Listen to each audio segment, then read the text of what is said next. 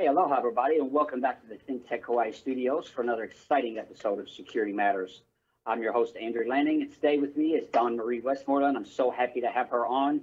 Uh, we've been trying to get a subject, another subject matter expert in here to talk about this, this bullying in the workplace, and bullying seems to be everywhere these days. But Dawn, I really appreciate you taking some time. I know you have your own show and you're, you're very busy, so thank you so much for joining us today. Oh, um, what a pleasure. On a rainy day here in Asheville, North Carolina. What a pleasure, Andrew. Oh, well, good. I'm glad we got you indoors to keep you dry. well, we, um, you know, we've got, I know you're, um, you, you, you talk a lot about the safe and respectful workplaces, and I want to sort of deconstruct that a little bit. So I think safety, um, you know, if we just talk about that, you know, we start off at an early age, you know, we go to school and now we're having a lot of school violence. And so, you know, when we send people places, they expect that place to be safe. And in a workplace, you know, obviously it's incumbent upon employers also to provide a workplace. So employees that don't feel safe obviously aren't going to be productive. So talk a little bit about um, uh, some of that history. And actually, you know what? I, I, forgot. I believe something here. Let's go back and get some of your history for our audience. I know you have a big audience but my audience may not know your work. So let me give you a chance to build in there and brag a little bit about how you how you've arrived to uh, where you're at today. okay, well, I'll give you the very, very short version. I, have been retired from the Air Force 15 years on Valentine's Day, this past Valentine's Day. Oh, wow. And then I worked in the Veteran Affairs for five years, and my background is in human resources. And I'm giving off my age. I've been in HR for about 29 years. And while working for the Veteran Affairs, one of the first things that I noticed, and I'm in Asheville, North Carolina, there's a, a revenue part of the of the VA, and I noticed nepotism, hiring a family and friends, which is illegal in the government by management, and I also noticed. Um, you know, I'm white or Caucasian, and I noticed there's about 500 white folks and five black folks, and I'm thinking, wait a minute, wow. I know what's going on. That's illegal too. Well, fast forwarded, I spoke up, went to many government agencies, and I got retaliation pretty severe. and, uh, you know, I ended up losing my home, my livelihood, my paycheck was cut off, I was stalked, my phone was tapped. I mean, you know, re- whistleblowers can really get beat up really badly. But I think my Air Force career, uh, my faith, you know, moved me forward you know, I, I, would say my aha moment was when I had three days in the Asheville Charles George VA hospital because things had gotten to, you know, bottomed out. You know, I was starting to feel wow. unsafe. My tires, you know, had been flattened. I mean, it's just one thing after another. And so that's when I had the aha moment that, hey, I don't have to be a victim. Hey, you know, I'm a female that went through 20 years in the Air Force with a bunch of men. And, you know, I'm not going to say it was easy piece of cake, but I moved forward and with only documentation, Andrew, I signed a settlement with the VA, the Veteran Affairs, and I said I would re refuse to not sign a non-disclosure agreement because I was going to, I realized I'd be helping people. So I've been helping people, a lot of people in the last seven years. And, you know, yeah, I had Erin Brockovich, for example, on my podcast, you know, almost two years ago. I met her. Yeah, I met her out in uh, Arizona. And one of the creators of Homeland Security to know how I did it. You know, how did I settle? And, you know, with what I went through, and how did I refuse to sign a non disclosure agreement? And I'll turn it back to you, Andrew. Well, that, I mean, there's a whole lot there we could unpackage, but what an amazing, I'm, I'm so glad that you spoke up.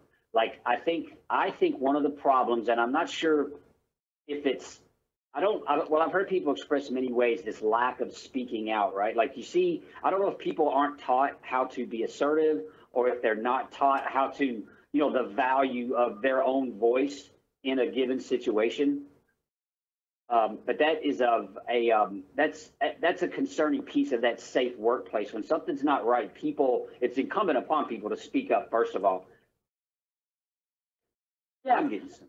Go ahead. I Absolutely. And OSHA, our government OSHA says that we should work in safe environments, but one thing that not everybody is aware of is that bullying in the workplace is not illegal in any of our 50 states.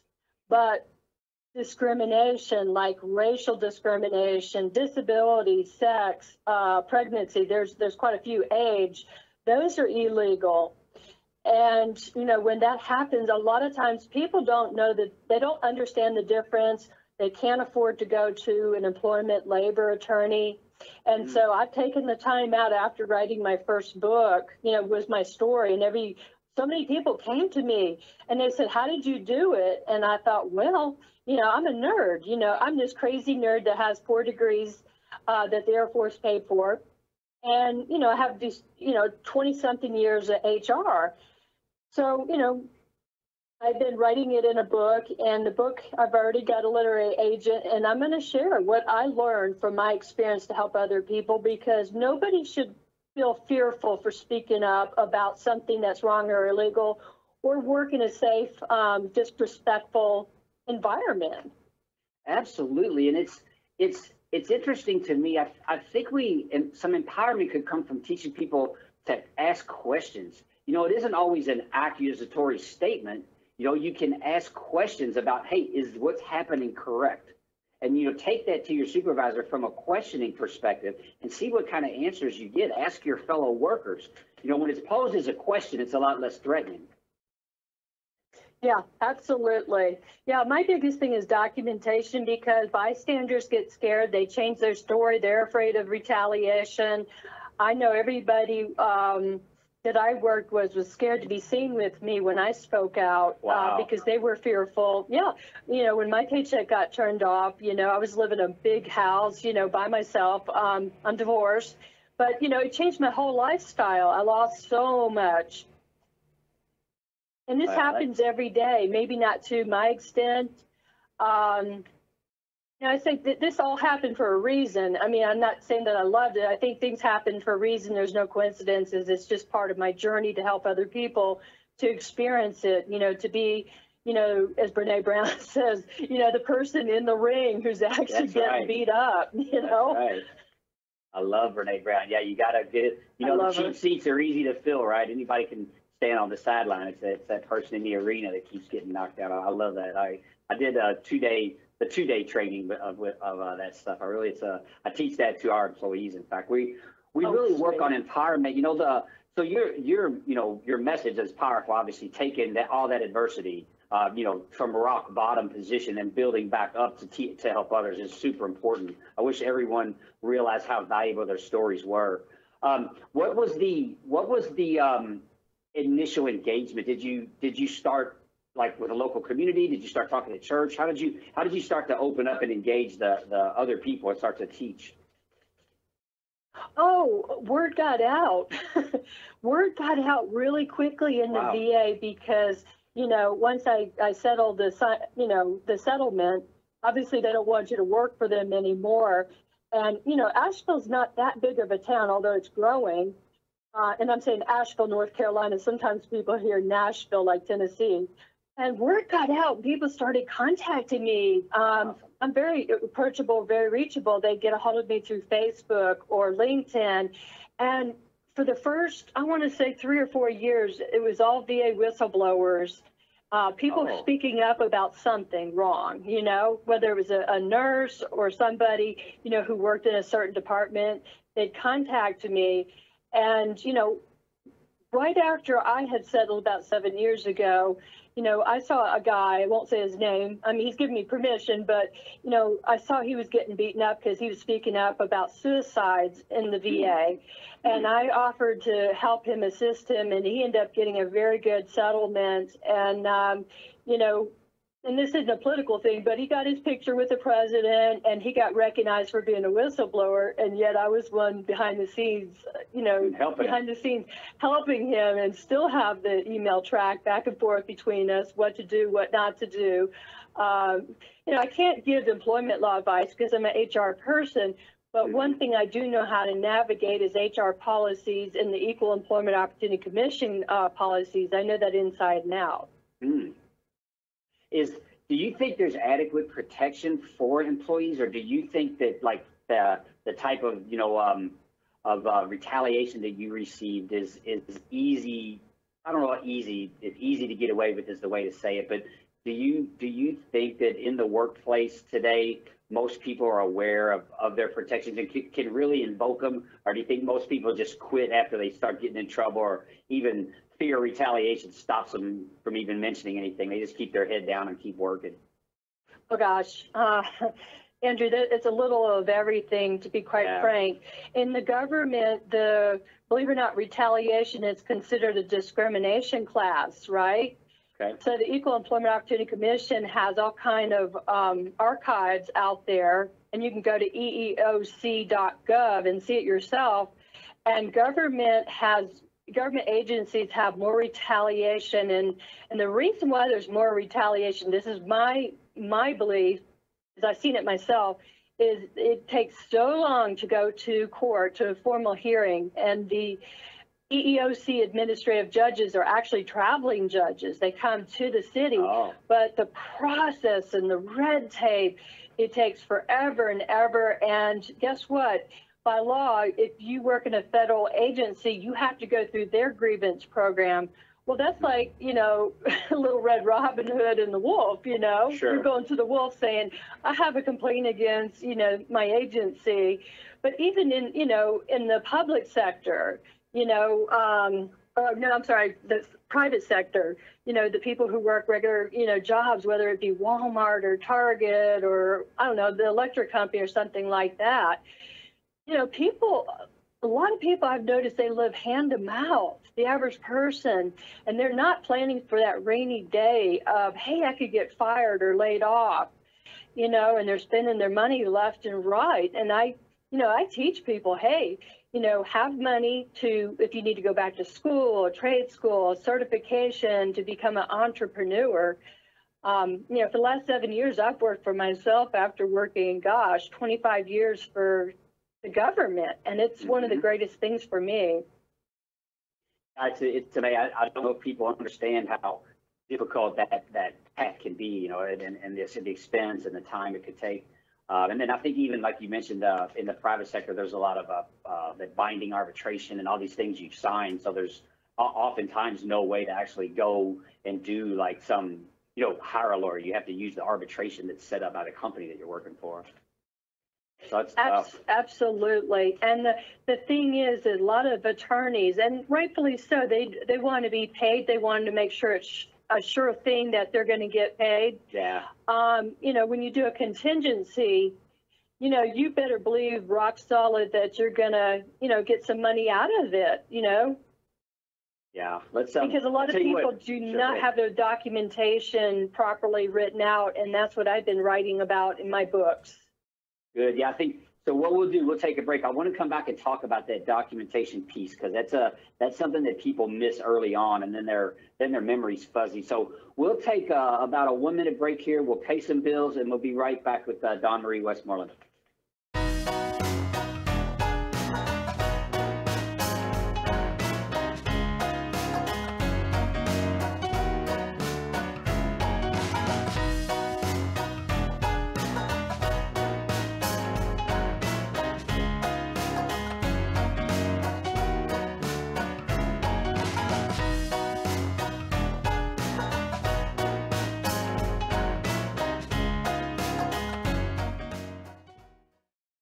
Aloha, I'm Keli'i Akina, the host of Hawaii Together on the ThinkTech Hawaii Broadcast Network. Hawaii Together deals with the problems we face in paradise and looks for solutions, whether it's with the economy, the government, or society. We're streamed live on ThinkTech bi-weekly at 2 p.m. on Mondays. I want to thank you so much for watching. We look forward to seeing you. Again, I'm Keli'i Akina. Aloha.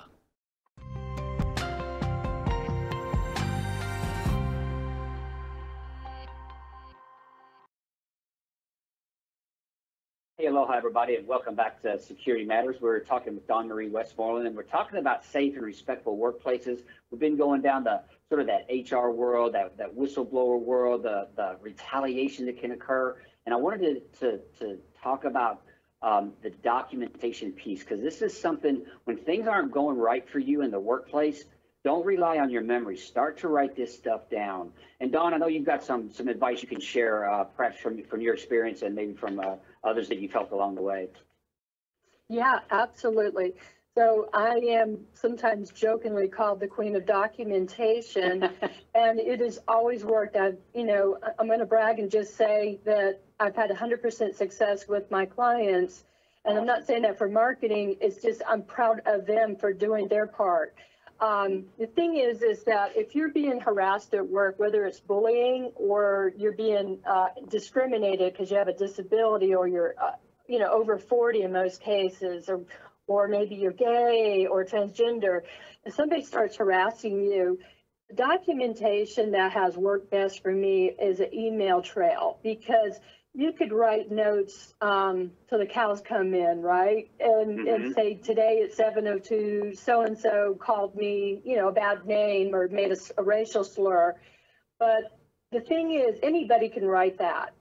But if you, Okay. let's say, um, and I'm just making this name up, Johnny says something that's very offensive, you know, what I tell my clients, you know, email him, you know, unless it's so offensive, you need to go to HR or your manager or whoever, and just tell them, you know, hey, you don't appreciate it, be very objective and, you know, very abbreviated, and just say, hey, you know, today, this morning, you, you called me, you know, an ugly name or offensive name, and I find it discriminatory and unacceptable. I'd like you to immediately stop. Whether Johnny responds back or not, or if Susie, you know, responds back or not, you know, print that out, print that documentation out. I'm serious when I say this, print it out. Don't send it home. Don't leave it in your desk because I had my desk violated. Um, yes, it was government property, but you print it out and you keep it upon your person and you put it in a safe place. That's, that's one good example. And you do that with all things. If you have to ha- have an appointment with HR, you know, you do a- an email documentation of what, you know, transpired. Whether somebody uh, contacts you or not, um, contacts you back and, and, you know, agrees with you, disagree, you still have proof your email, you know, went to that person. So the reason why I say email is email is constant, it's stable. You can print it out, you can take it to an attorney, uh, you could take it to the boss, you could take it to HR, you could take it to a judge, you know, or have it submitted in discovery. There, you know, you never want to just have a he said, she said. And I've even actually had people ask me, well, you know, my boss said you're not allowed to send any emails. And I'm like, you know, to hell with that. You know, I said, if they want to have a face-to-face meeting with you, even with a union representative, um, yeah, have it, but turn around and follow up and then, you know, do a summary email, as I call it. You know, thanks for the, you know, meeting we had at two today. I just want to make sure I understand correctly, you know, the following and keep it very brief. Just hit it right, you know, hit the nail on the head and then send it, print it out. Um, it's so important not to keep it at work in case somebody breaks into your desk. I mean, that does Mm. happen more than people realize. Wow. And if you keep it on your computer, guess what? Your IT person, whoever has control of your computer can delete it in, in just seconds. And I've seen everything just about. Wow. I've been doing this seven years, just strictly on bullying and discrimination matters. Isn't that Does that make sense? Do you told you, think- There's more yeah. to it, but that's kind of the basics. Sure. Do you think that most um, frontline management is equipped to deal with complaints of this nature? A lot of times I've, you know, from working almost three decades in HR, they don't have the training, the leadership skills, and there's a difference. You know, you and I both been in the military. We know a difference between a manager and a leader. And so a mm-hmm. lot of times they're not equipped with it. And they're some of the, the first line supervisors are some of the busiest because, you know, if they see somebody being mistreated, you know, they need to address that. You know, maybe it's counseling a talk. And then they need to follow up and document it and then keep a copy of that for their records and, and possibly a copy for HR or, you know, the management. But what happens often is they're, they'll say they're so busy they didn't have time to do the documentation. Mhm. But everybody has rights. And when it comes down to it, if you don't have proof, and that's where documentation is like, it's, it's just the epitome of truth, you know? If you don't have that, then it's hard to fire somebody because they have rights. Um, or, you know, for the person who's trying to defend themselves because they are being mistreated, you know, if they don't have something to, to prove that they reached out to somebody. Of course, an Mhm. investigation always needs to occur too.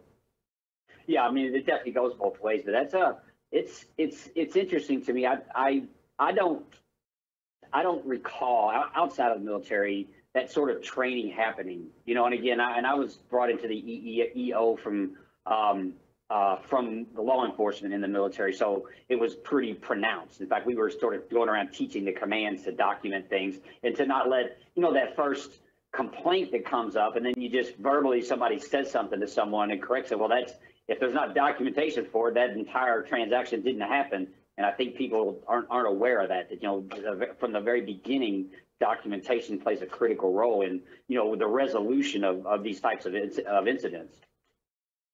Yeah, you're absolutely right. I agree with you 100% because, you know, if it ends up you use um, an attorney, you know, and then it goes through what they call the discovery phase where both sides have to submit evidence that's going to go to the judge. You know, it's the evidence that the judge is going to use. Mhm. Um, and it's that documentation that's going to likely, if it's done properly, that documentation is what's going to help somebody have a better, a chance of a better outcome, whether it's employee or employer. Yeah, there's, it seems like, um, in my, what I've seen is that oftentimes it's a, a person can be very subtle and they're, they're kind of, they're kind of bullying everyone or they're kind of, uh, disparaging everyone, but it's just a little. And so people, people are like, man, he's just like that. You, you hear people say that and I'm like, that's not right, you know, and, but because there's no preponderance of people complaining, because it's a, a simple slight, you know, or, or whatever, uh, people tend to get away with this behavior, you know, over and over again. Yes, a lot of people get praised for being assertive, and there's nothing wrong with being assertive, you know, and driven or ambitious. But when it comes to the fact that somebody's mistreating somebody or taking credit for their work, or a, a supervisor's, you know, putting someone down in front of, you know, other people when then they should only be publicly, you know, telling them Mhm. compliment. Yeah, it's an issue, and we have a real serious engagement issue. There's a bunch of statistics out there. It's really super high. It's either like in the high 70s or low 80% of people not feeling engaged in the workplace. Mm. And there's a good reason because there's a lack of trust, lack of engagement, communication. Um, I could go on and on and on. Both sides aren't trusting each other, but it takes a leader to show, you know, a leader of a company, I don't care how big or small they are, to emulate what he or she, you know, knows as leadership skills, you know, a good balance of taking care of, you know, the goals of the company, but also taking care of the people because people are not resources, you know, they're Mhm. assets. They're assets. And my gosh, I mean, I think about how far I've gotten in life. It's because of other people helping me. Mm-hmm. Exactly. Is do you um do you is there is this changing? Like I mean, from the old guard, you know, the '60s and '70s and '80s. Do you feel? Because I mean, there has been a really a breath of fresh air from folks, as you mentioned, Brene Brown and Simon Sinek, and there's a Yes. lot of people talking about empowering the workforce and and how our people are our company and things like that. I mean, Richard Branson's a great champion of his people. Do you think it's changing? I mean, or is is it are there leaders and, and managers finally starting to listen? I follow that really, really closely. And I'm seeing that there's more problems going on. And even with the low unemployment, a friend of mine Mm. asked me if civility is getting better in the workplace. But if you go to the EEOC, which only, you know, deals with discrimination, you will see that it's not going down. Mm. And people are losing good employees because stati- many statistics out there show that the average person who gets bullied is usually, and, men get bullied too, it's not just women, you know, a little bit more in the women, you know, a little bit over 50%. But it's usually they're, they're intelligent, they get along with other people, they have a high tolerance, they're team players, you know, they, they want to get along. And then you get the, the people that are insecure. Maybe they've had bad mentors in their life, or maybe they have a lot of narcissism or, or psychopath in them. And, you know, and they're, they start mistreating the people. So I'm not seeing a whole lot of improvements. I'm seeing some fantastic books and videos out there by the people you mentioned and more. But it's Mhm. it's really a personal choice, you know, to be a leader or not to be a leader. Mm-hmm.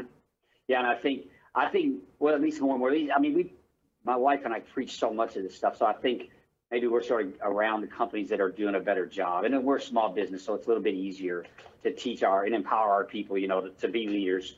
Um, we got a minute or so left. Let's. Uh, what what's your what's the number one advice you would give um, businesses out there, owner owners and employees, uh, to build a safe and respectful workplace today? You know, ask to talk to the supervisors, to the management, you know, ask for open doors if they don't have it. Mm-hmm. And, you know, for the employee, let them know what their concerns are and ask them to listen to them.